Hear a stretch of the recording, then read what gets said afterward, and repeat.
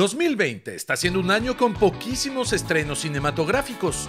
Uno de los más esperados es la película Tesla, que busca retratar la rivalidad que hubo entre el inventor croata Nikola Tesla y el inventor y empresario Thomas Edison. Hoy, en ADN TNT, dedicamos una mirada a Tesla, la película. Ethan Hawke es el actor que interpreta a Nikola Tesla, una de las mentes más subestimadas y maltratadas en su época. Hoy en día, el genio de este inventor ha sido reivindicado por sus aportes y su vigencia. My aim is to develop an entirely new system of communication using new principles.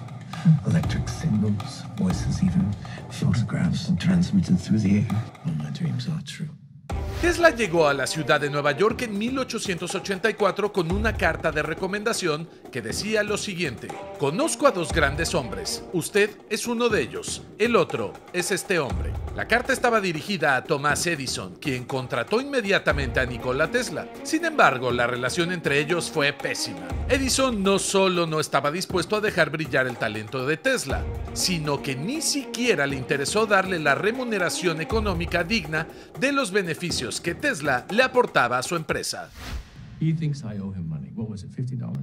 Nikola Tesla renuncia a su trabajo con Edison y se pone al servicio de la empresa de George Westinghouse. Se desata entonces en la que la historia se conoce como la Guerra de las Corrientes, una batalla entre la corriente de energía continua que promulgaba Edison y la corriente alterna propuesta por Nikola Tesla. to a novel system of electrical transformation and distribution of energy by means of alternate currents. Alternating current is a waste of time. La película, dirigida por Michael Almereida, se toma libertades disruptivas para lo que son las narraciones históricas clásicas. El personaje de Anne Morgan en ocasiones habla a la cámara y googlea datos. If you Google Nikola Tesla, you get 34 million results.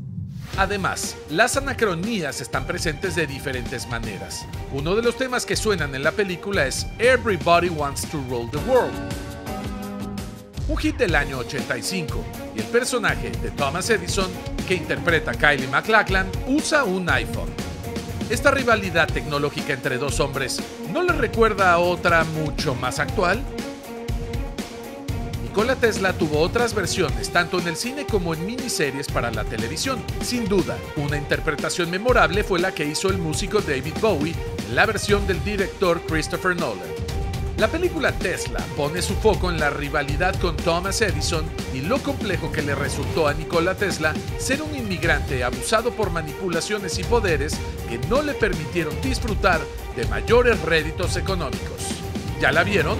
¿Qué les pareció? Esta fue nuestra entrega sobre el estreno de la película Tesla. ¿Sobre qué otra película les gustaría que habláramos? No olviden dejar sus comentarios y suscribirse a nuestro canal para recibir todas las novedades.